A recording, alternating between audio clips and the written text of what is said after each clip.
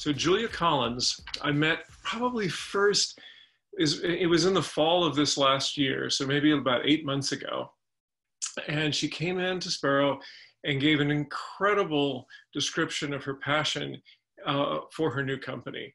And that was just the kind of founders that we love to see. And those are the kind that are successful. It, it, so uh, she's the CEO of her new startup, which is Planet Forward uh, whose mission basically is to reverse climate change through snacking. And you just gotta love that. And she's gonna talk a little bit about that along the way. Um, before Planet Forward, she was the co-founder and president of Zume Pizza, which worked to have a human and robotic interface to provide sustainable food that could, uh, that could help the planet. She was on the management team of the Harlem Jazz Enterprises, won Best New Restaurant in America in 2014, is still involved in a couple of different restaurants in Harlem.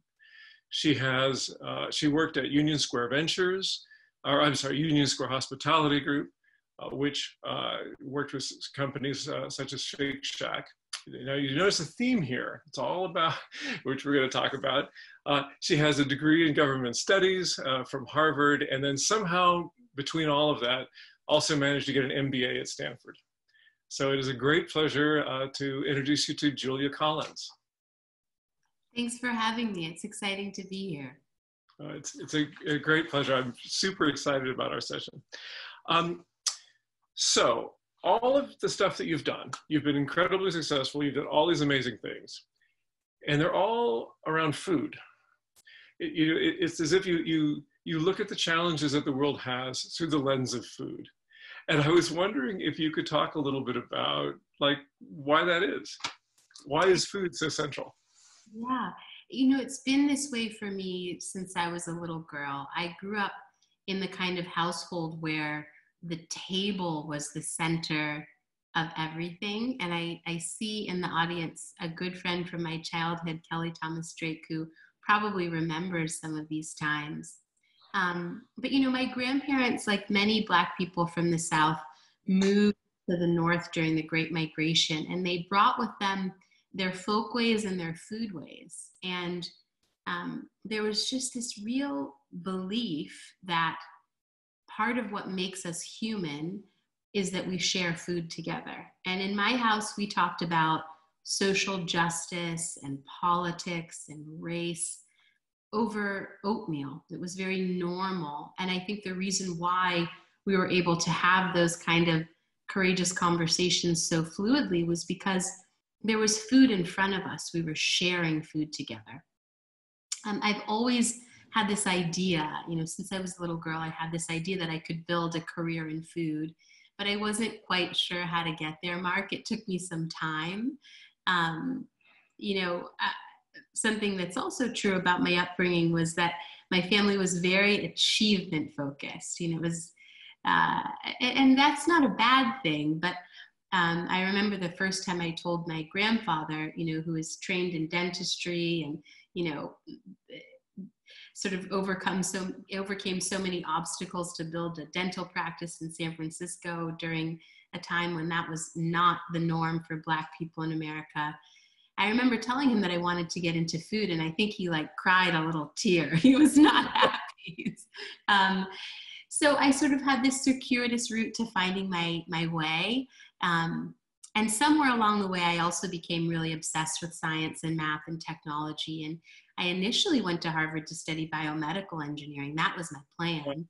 I sort of fell into government um, and African American studies, which was a good thing. Um, but you know i just fundamentally believe that food is the is the universal medium for human connection. And i will say more more practically mark and then i promised to, to put a fine point on it and we can move on to the next question. But you know when we think about climate change which is the problem that i'm really tackling right now it's probably not a surprise to you that 23% of greenhouse gas emissions globally come from our food system and I'm not saying that there's a silver bullet to the climate crisis, but I certainly believe that addressing our food system is a very good place to start when we're thinking about how to tackle climate change this decade. Yeah, absolutely. It, it really is about food and energy. You know, if we can if we can get those two things solved, everything else is kind of uh, falls into place.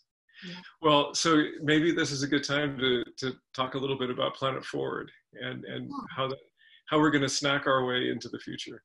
Absolutely. So, the mission of Planet Forward is to help tackle climate change by making it easier to bring climate friendly food and beverage products to market.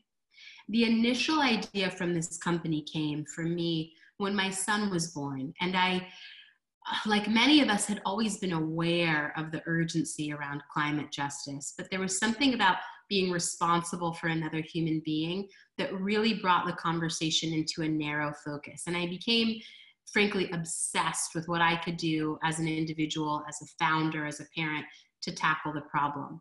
And so the first idea that i had was around snacks. It was what if i were to create the world's first explicitly climate friendly food brand that was positioned in that way, that was communicated in that way, that helped consumers to understand the relationship between their choices at the grocery store and the kind of climate impact that they want to have. So it started as this idea for a snack brand, but as I got going, I realized it was so difficult to actually find all of the information that I needed to buy the right ingredients, to purchase the right materials for that brand. And as I went, Mark, I started building up more and more data and putting it together and connecting it and tagging it.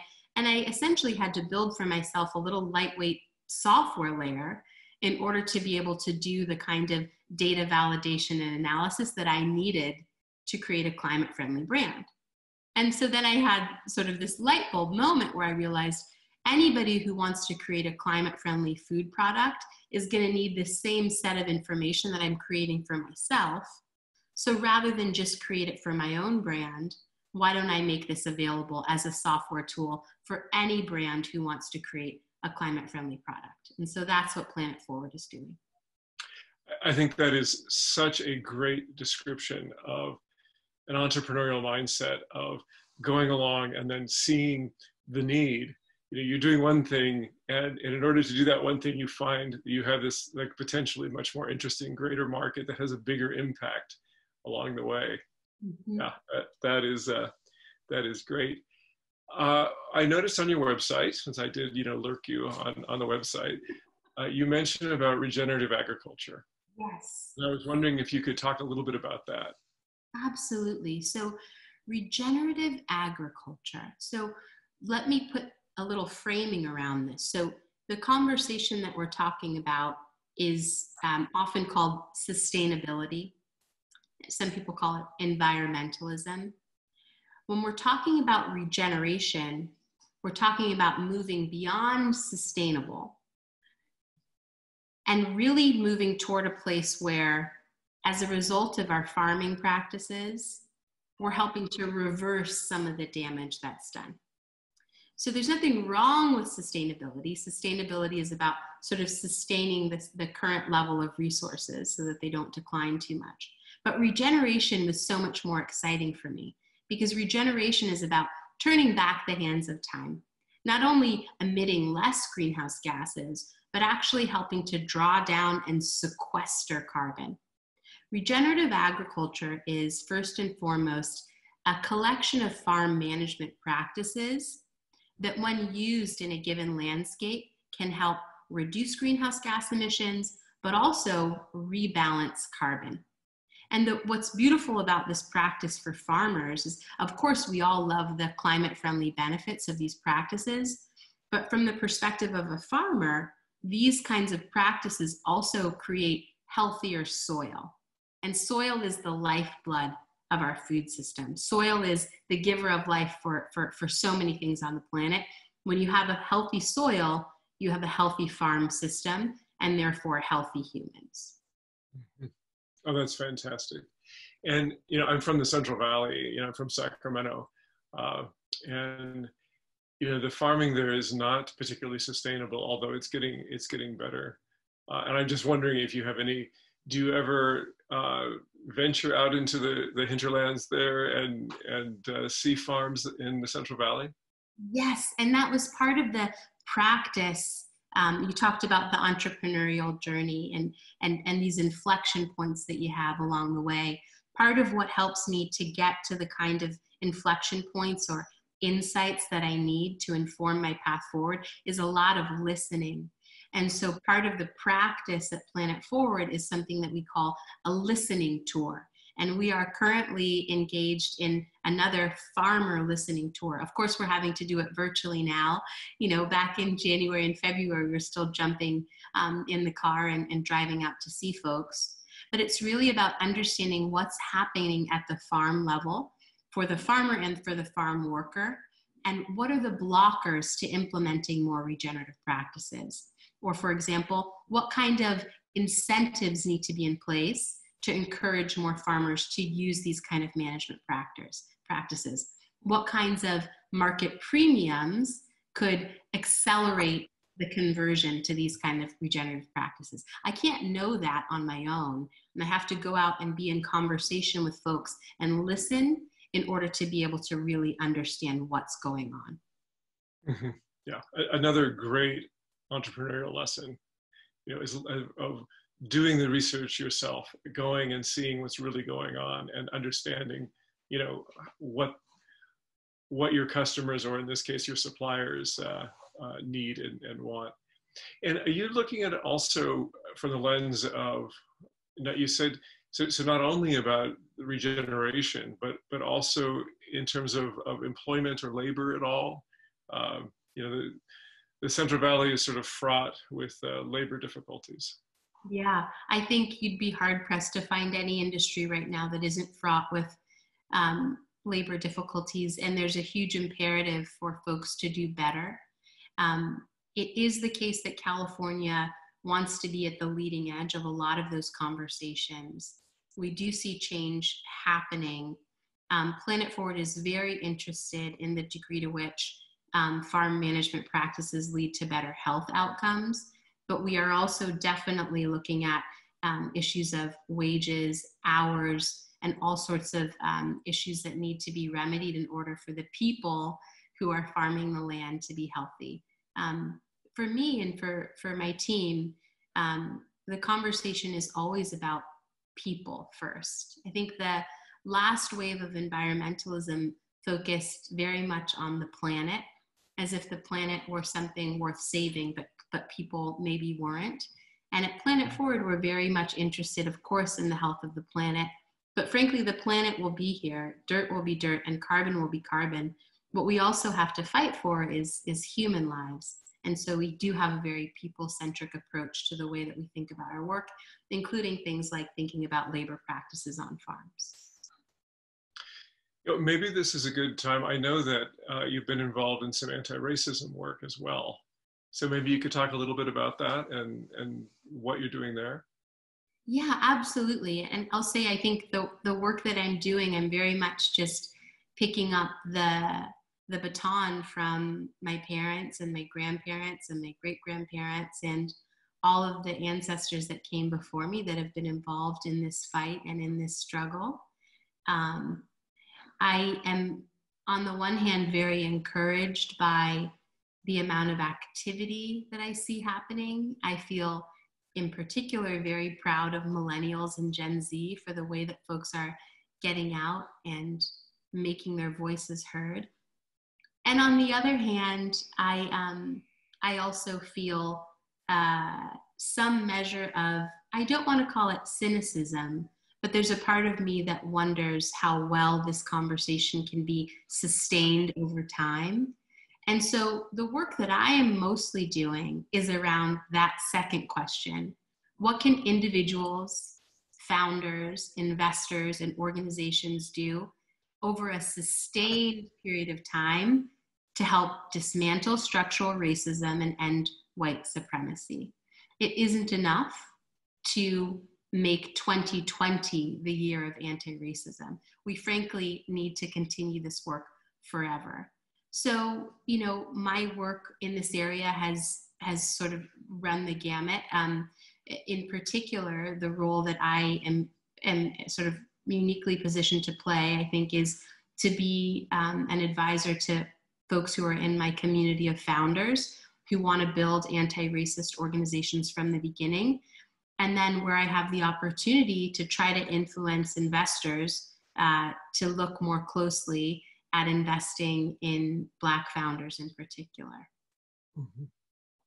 Oh, that's fantastic. Um, because we have so many founders here, uh, can you give a couple of, of I want to say simple, nothing is simple, um, but some tactical advice on how to make sure that you're creating an organization that doesn't have sort of implicit bias and racism built in? Yes. Well, and that is a wonderful question. Um, and at the same time, I will say um, that there really is no possibility that an organization, from my perspective as a Black American living today, um, it is impossible for me to imagine a system or an organization that exists right now that hasn't been imbued with racism already.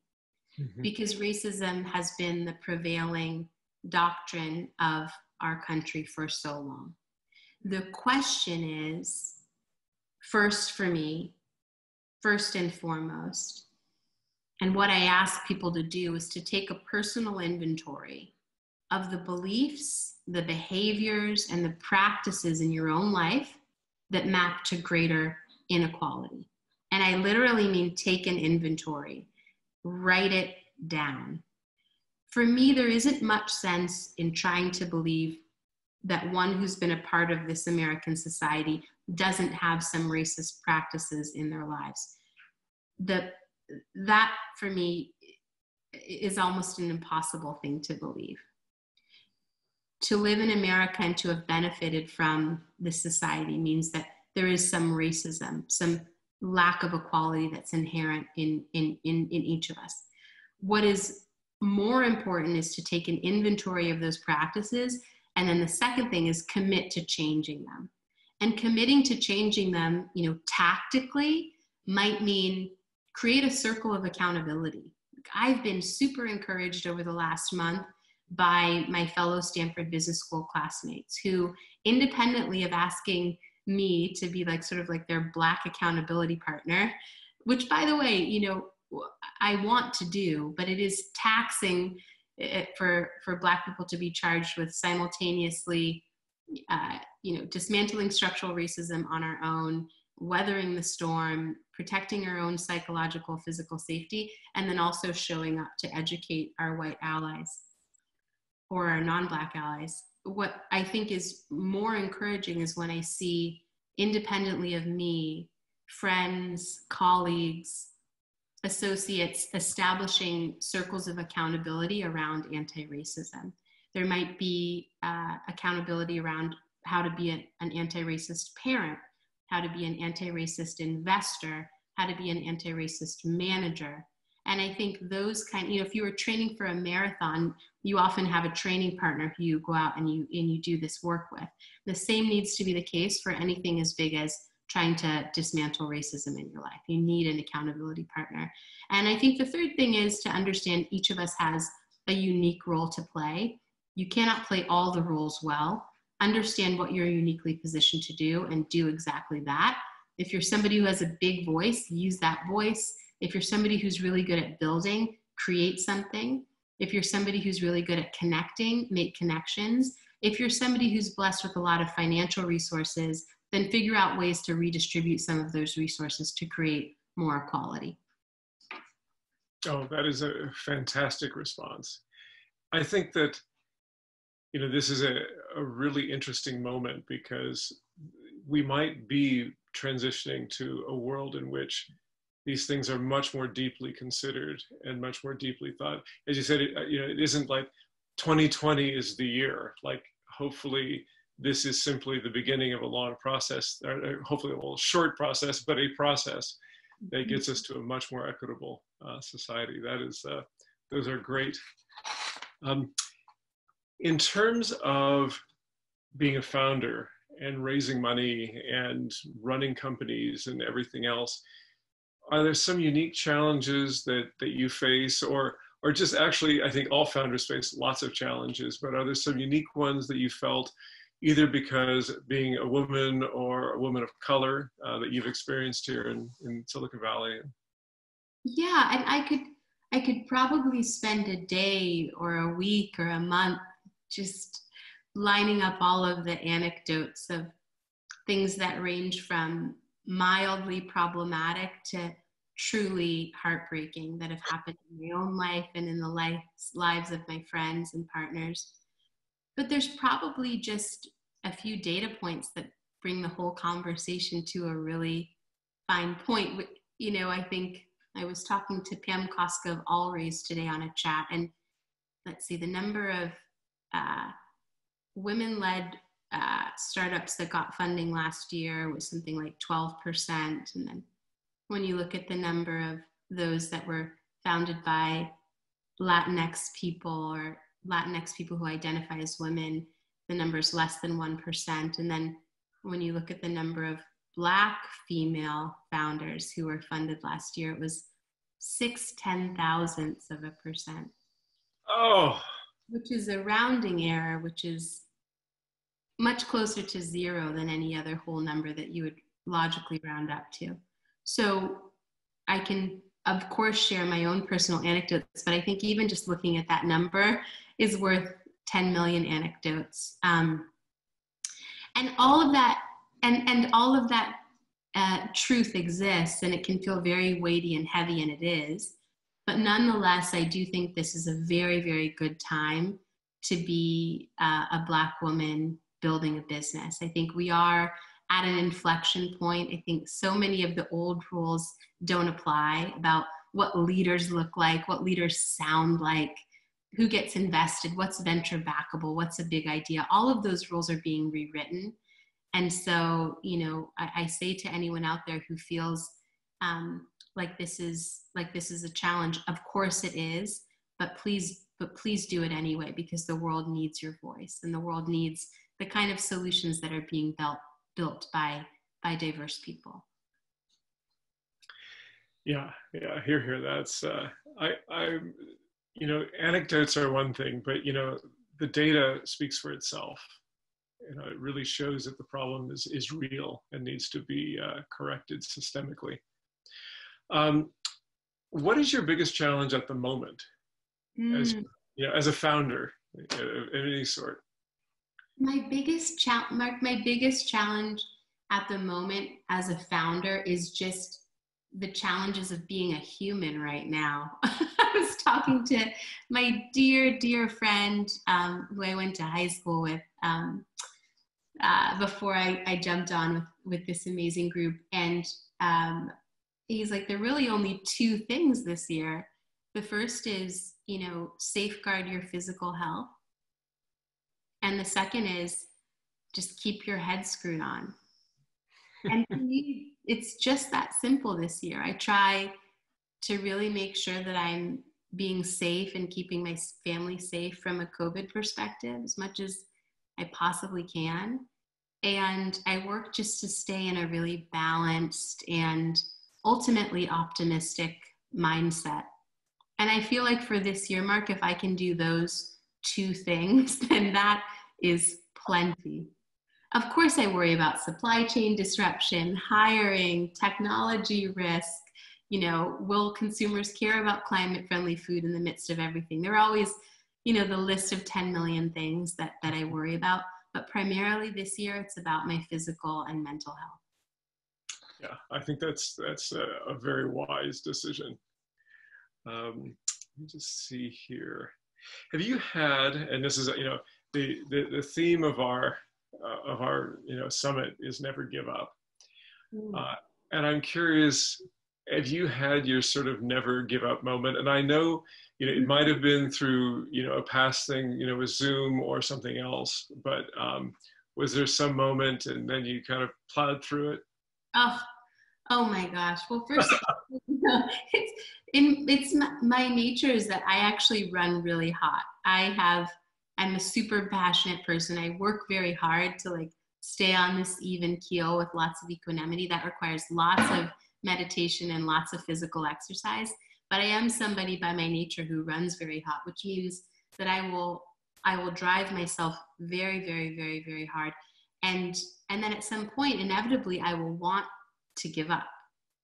Um, either because I've pushed myself too hard or because I'm because I'm, you know, pushing myself so hard that size of the problems that I'm encountering are growing, which by the way is healthy and good.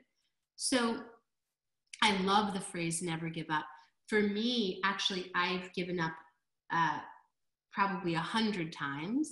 And so it's it's it's surely I, I understand the point of don't give up, but for me the mantra is probably closer to like like like fall down and get back up. And in the moments where you feel like giving up, just honor that feeling. Like don't don't get into a place of like judging now judging yourself for having given up. Like just kind of relish that moment where you're like, I just I'm done. Let yourself feel it Try to observe that feeling without judgment. And then do something to delight yourself. Go take a nap, take a walk, play with your dog, play with your kid, you know, eat something yummy. And then see if you feel a little different later on. Um, that's what I would say. You know, when have I wanted to give up? I remember there was a night early in the days of Zume Pizza when we ran a promo um, I forget what this promo was, but it was something really juicy. It was like two for one pizza. Like, of course, everyone would want that.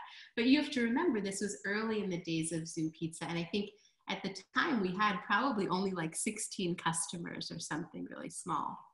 And so we thought, even if we have a 4x surge, we can surely handle that level of volume.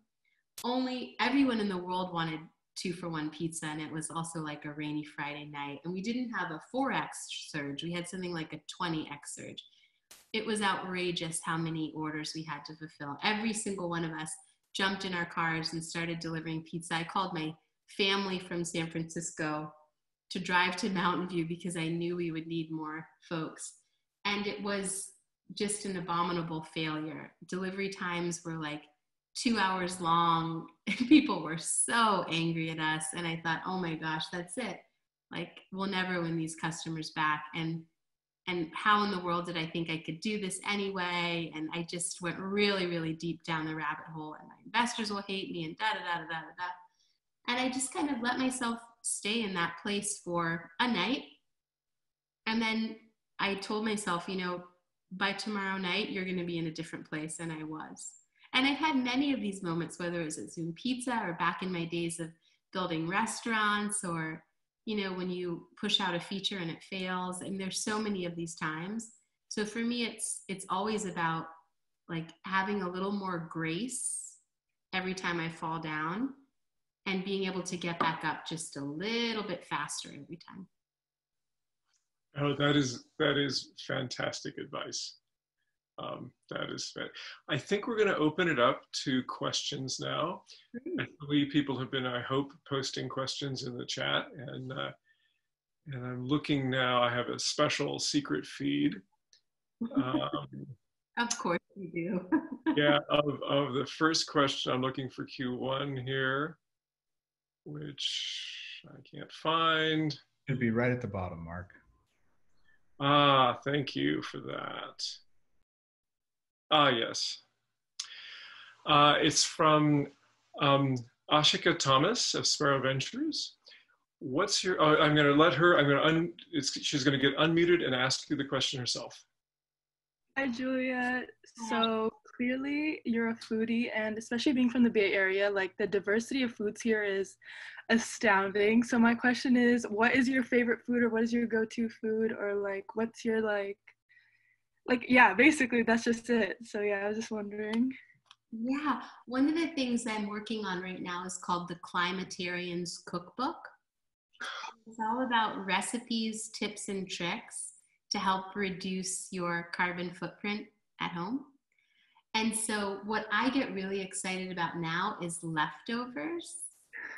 So 40% it's not a surprise to you that about 40% of the food that gets produced winds up getting wasted um, and if we could reduce the amount of food that we waste, it would be like taking millions and millions and millions and millions of um, gasoline burning cars off the road. So I get really excited about what's in my own fridge and how I can mix and match it to make something yummy.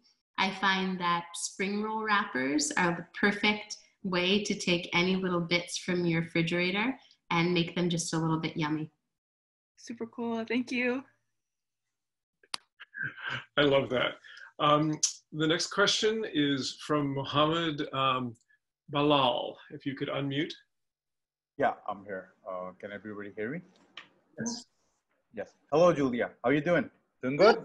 How? Okay. Uh, thank you for like uh, giving me the opportunity to ask a question. Um, before we go on, I just wanted to share one thing uh, as we were talking about racism in this session, and before that was uh, it was about uh, a guru in uh, Sikhism, and he mentioned uh, one of his teachings that uh, we should recognize the human race as one, and that was one was his, one of his teachings that I think really should uproot and be in front of the world in times like these. So um, on top of that, my question is, uh, um, I've seen like the planet forward and everything. Um, what is your opinion on uh, air pollution and uh, the ability to reverse it by air purifiers? Because I have uh, my MVP, my startup is a smart air purifier that's uh, powered by the AWS cloud. So I monitor, you monitor the air quality data through it, and then you filter the air as well. So in a nutshell, it's like I'm trying to make people live longer. So like elixir of life. Okay. So um, it's, uh, I would just say like, uh, there are things that uh, initially at a very small scale might give a very small effect. But like when you put in the chaos theory in motion, imagine a lot of people purifying the air in their house, as well as it would affect the environment in an aspect. So that might reverse, and the data can support it. What do you have your opinion? What you and I are both trying to do with our businesses is to solve the most urgent environmental problems. Certainly, climate change is one of them, but pollution is also a huge environmental problem and disproportionately affects folks at the lower end of the socioeconomic spectrum. So, a solution that can be implemented that helps purify the air and reduce the amount of pollution that human beings are experiencing is a great solution.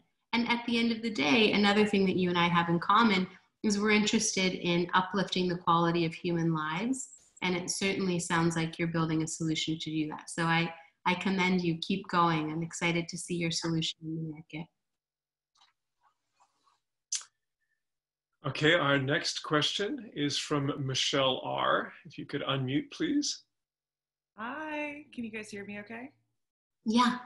Hi, Julia. Thank you so much. You're basically like goals and such a such an inspiration. Um, so my question, and I'm like kicking myself that I misused the word "your" the wrong way because I'm a grammar freak. Um, so you're like basically like my dream advisor. Um, my I'm like a food product company, and we are all about environmental sustainability and um, upcycling to prevent environmental waste. So my question is, how as a young company um, do can we or should we reach out to experienced founders? Because you mentioned you do like being an advisor. How can we do that? Because you're so busy. We we understand that. I don't want to overwhelm you um, but you have so much experience and how can we catch your attention? And how do we like make that initial outreach and and really um, foster that relationship? Yeah, I mean, I think the first thing is to like make the outreach. You know, you never know what's happening on the other side. And I've been in this position and still am um, quite frequently. I'm always reaching out to people, whether it's for fundraising or advice.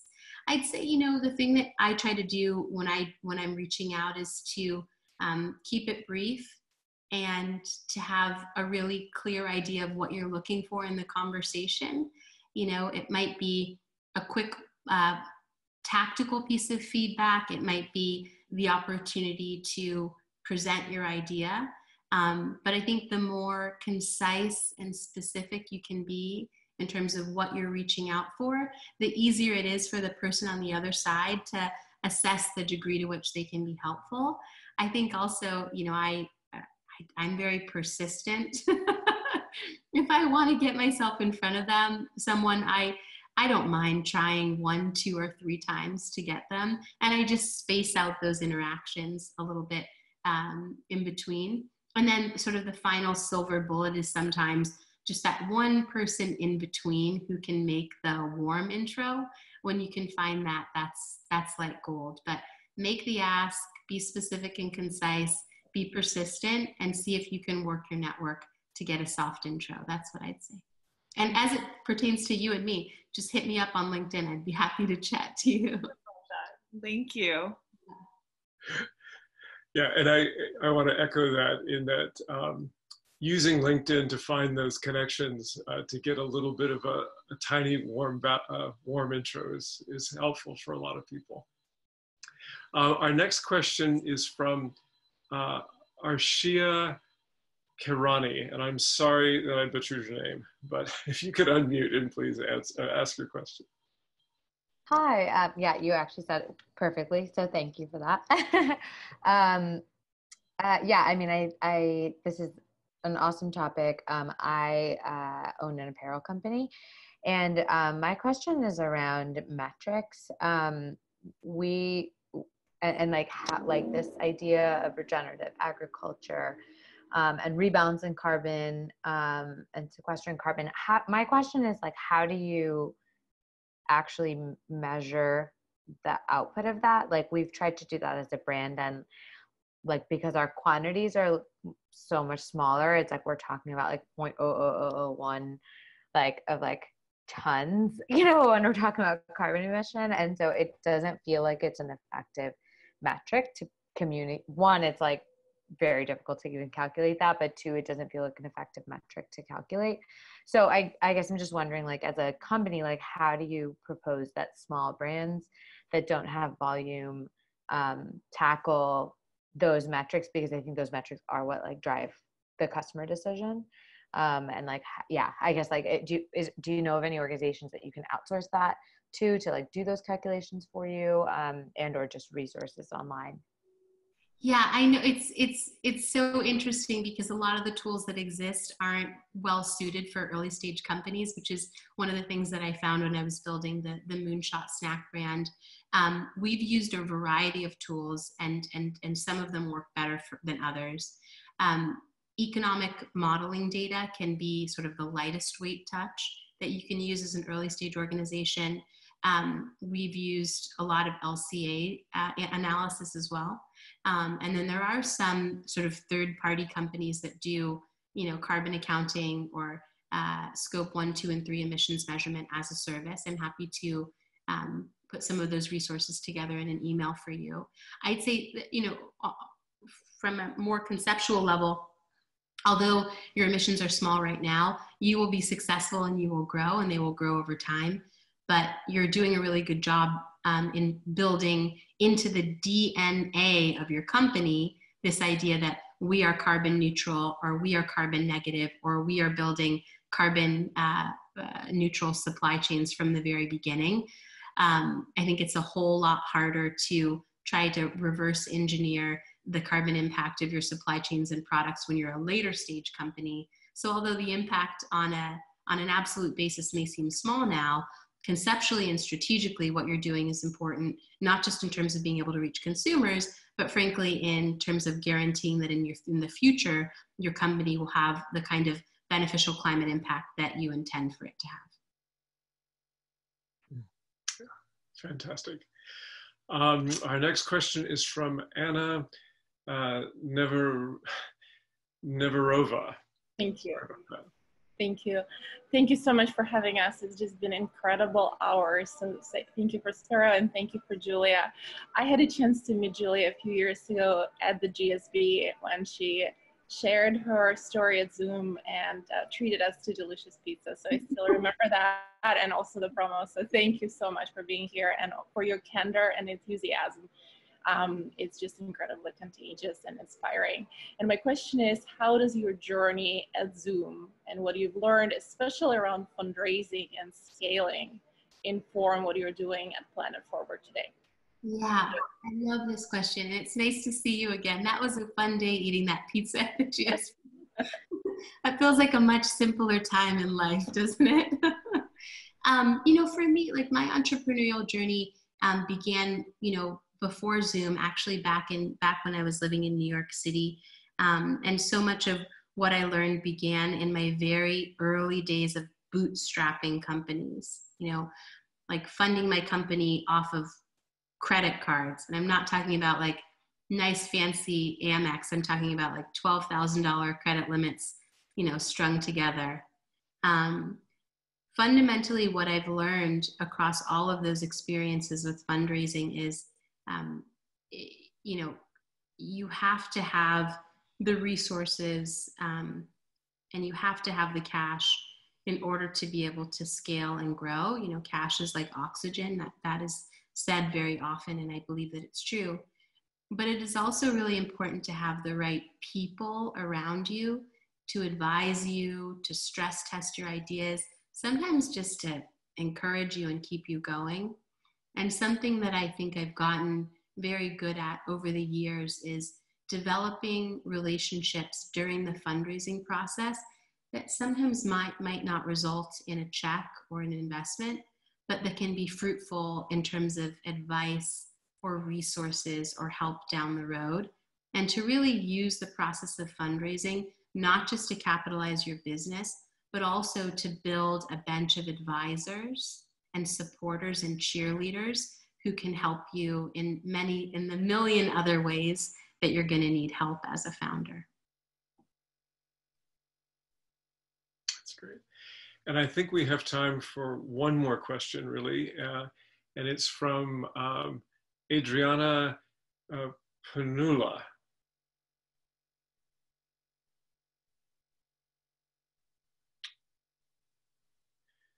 Adriana, can you unmute? Well, I'll read the question. Uh, it says, can you expand more on how the roles and rules of women and diversity are being elevated? What have you seen that works in changing that conversation? How the roles and rules of being women have been elevated. What am I seeing that's changing that conversation? Well, you know, I am seeing more um, female GPs raising funds. Um, I am seeing organizations like All Raise who are absolutely holding the venture community accountable to increasing representation among its partners. More recently, I'm seeing funds figure out what they can begin to do immediately to create a more diverse partnership. Some funds are creating internship opportunities for, for diverse founders and for women. Some funds are beginning to recruit partners from outside of the traditional sort of venture world. These are small changes, but if I imagine them or, or can, can see them being continued over a sustained period of time, then I do believe that they'll map to greater equality. Um, I also just see in the macroeconomic climate a real activation um, I, I, I believe being led by millennials and Gen Z that just aren't having it anymore. People are not here for this racism in the way that prior generations um, have allowed it to be so. And, um, you know, at the end of the day, I'm realistically optimistic that change is happening. Um, and I see it uh, in my own little world of, of, of being in food tech and and on this founder journey, I do see it happening within my own sphere. Oh, that's great. And that's a, a very nice note uh, to end on. Do you have any any final advice for founders? you know, I categorically, Marc, do not give advice. I try just to share elements of my story, and and when they're aligned for people, um, it, it'll resonate. But again, I think I'll just say say this: that the thing that I'm two things that I'm really focused on this year are safeguarding my physical health and immunity and safeguarding my my emotional and spiritual well-being.